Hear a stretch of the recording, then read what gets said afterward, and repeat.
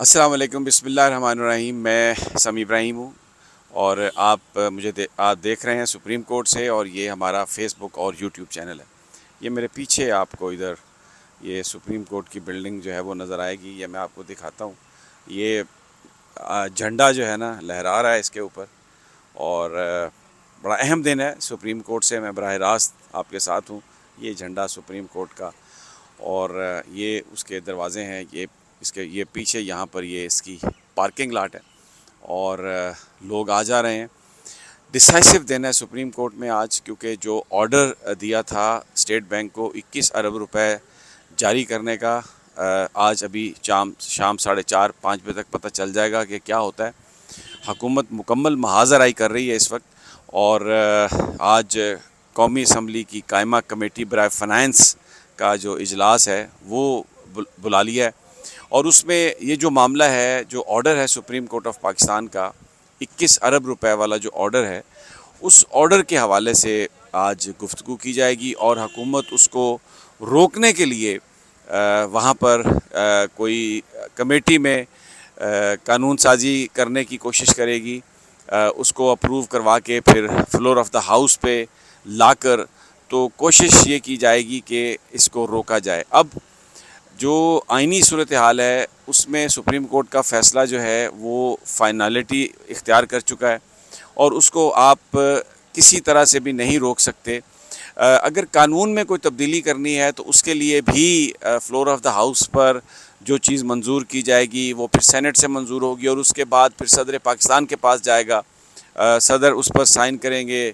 दस दिन रख सकते हैं, वापस भेजेंगे, फिर करेंगे जॉइंट सेशन तो वो तो अभी पास नहीं हो सकता। लेकिन हकूमती वज्रा ये रात से, कल से ये कह रहे हैं कि जो मर्ज़ी हो जाए इलेक्शन चौदह तारीख को, चौदह मई को नहीं होगा तो उसके लिए जो फ़ंड्स की जो फरा जो दस्तियाबी है, जो सुप्रीम कोर्ट ने मस्ट करार दिया है, यानी अगर सुप्रीम कोर्ट का ये जो फ़ैसला है, उसमें बड़ी वजाहत से लिख दिया गया है कि अब इसके बाद किसी और इजाज़त की ज़रूरत नहीं है, किसी और डॉक्यूमेंट की ज़रूरत नहीं है। उसमें अकाउंटेंट जनरल को पाबंद किया गया है मिनिस्ट्री ऑफ़ फाइनेंस को पाबंद किया गया एक नंबर भी क्रिएट कर दिया गया और कोई उसमें किसी तरह से भी रोकने की कानूनी आइनी तौर पर गुंजाइश नहीं है। लेकिन क्योंकि ये हकूमत, जिस तरह जो आइनी तरामीम है, उसको ये एक्ट ऑफ़ पार्लियामेंट के ज़रिए तब्दील करना चाहती है, जो कि बिल्कुल सरासर गैर आइनी और गैर कानूनी है। और फिर न सिर्फ़ ये करना चाहती है बल्कि हर धर्मी से उस पर कायम भी है उसको डिफेंड भी करती है। और इस वक्त जो महाजरा इतनी ज़्यादा है और सुप्रीम कोर्ट को इस तरह आ, आ, उस पर इस तरह से असरअंदाज होने की कोशिश की जा रही है कि आइन में जो डाइकॉटमी ऑफ़ पावर है आइन में जिस तरीके से कहा गया है कि ये आ, सुप्रीम कोर्ट के ये इख्तियार हैं पार्लिमान के ये इख्तियार हैं उनसे भी तजावज़ की जा रही है। मैं आपको स्पीकर कौमी असम्बली जो है राजा परवेज़ अशरफ उनकी मैं गुफ्तु में उन्होंने जो कल बात कही है वो रात में एक बड़ी खौफनाक बात कही है कि जी आ, कानून साजी पार्लिमान का इख्तियार है बिल्कुल सही है। आ, लेकिन सुप्रीम कोर्ट जो तशरी करके बहुत सारे जो कवानीन हैं उनको अगर वो आइन से मुतसादम करार दे के अगर उनको रिजेक्ट कर रही है तो ये पार्लियामेंट के इख्तियार में मदाखलत है।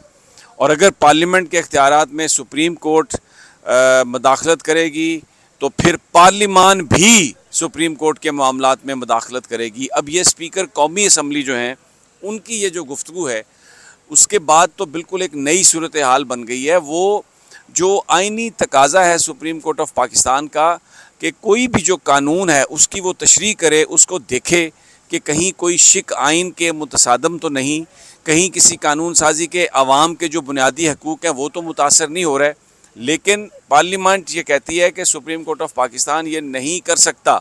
और इसको वो पार्लियामेंट के इख्तियार पर हमला तस्वर कर रही है, हकूमत। और राजा परवेज़ अशरफ साहब कहते हैं कि ये सुप्रीम कोर्ट की पार्लियामेंट के इख्तियार में मदाखलत है। हमें कानून साजी के नाम पर जो कुछ यानी उनका मफहम यह है कि जो कुछ भी हमारी ख्वाहिशात हैं, जो भी हम करना चाहें, अगर कहीं पर आइनी तरमीम की ज़रूरत है तो उसके लिए आपको टू थर्ड मेजॉरिटी चाहिए। लेकिन हुकूमत अब ये कह रही है कि अगर हमारे पास टू थर्ड मेजॉरिटी नहीं है और हम उसको एक एक्ट ऑफ़ पार्लियामेंट के ज़रिए करने की कोशिश करें, जो आइन के ख़िलाफ़ है, उस पर भी सुप्रीम कोर्ट कोई ऑर्डर पास ना करे उसको भी वो जाने दे। जो भी हम मनमानियाँ करना चाहते हैं, कानून के नाम पर वो करें। और अगर सुप्रीम कोर्ट अपना कानूनी आइनी फरीज़ा सर अंजाम देती है तो वो कहते हैं कि ये पार्लियामेंट के अख्तियार पर हमला है। ये पार्लियामेंट पर हमला है। अगर, और हम इसलिए अब सुप्रीम कोर्ट के जो मामला हैं, उनमें हम मदाखलत करेंगे। एक बड़ी अजीब सी सूरत हाल पैदा हो गई है। पाकिस्तान माजी में हसबा एक्ट था। इसके अलावा तोहन अदालत के कवानीन थे। और भी दो चार दफ़ा कोशिश की गई।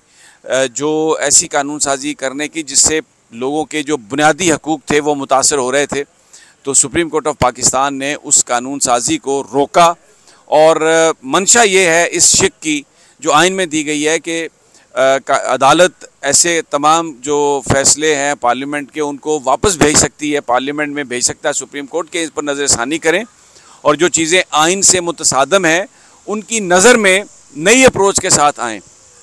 लेकिन अब पार्लियामेंट ये कहती है कि हम तो ये बर्दाश्त नहीं करेंगे और ये हमारे जो इख्तियार हैं, उस पर ये एक कदगन है। तो बड़ा अब इसी चीज़ को सामने रखते हुए जो इस वक्त कमेटी का जो इजलास है, फाइनेंस कमेटी का, वो सुप्रीम कोर्ट के फैसले पर अब गौर करेगा और सुप्रीम कोर्ट के फैसले को पार्लियामेंट की कमेटियाँ जो हैं, वो ओवर ओवर रूल कर रही हैं, ओवर राइड कर रही हैं उसको। एक ऐसी सिचुएशन पाकिस्तान में बर्पा कर दी गई है। आप यकीन करें जो पहले नहीं थी सुप्रीम कोर्ट के जजेस के ख़िलाफ़ हर्जा सराई उनके ख़िलाफ़ झूठे स्कैंडल टेलीविज़न पर कैंपेन कौमी असम्बली में तकारीर कौमी असम्बली के अलावा मीडिया के सामने प्रेस कॉन्फ्रेंस इस तरह के इल्ज़ाम लगाए जा रहे हैं जो जिसकी आइन में बिल्कुल गुंजाइश नहीं है। लेकिन आ, अदालत ने उस उस पर रिस्ट्रेन शो किया है। अब देखना यह है कि आज साढ़े चार बजे तक जो स्टेट बैंक की तरफ़ से हमें इतलात हैं, ज़राए की, उन्होंने तो प्रोसेस इनिशिएट कर दिया।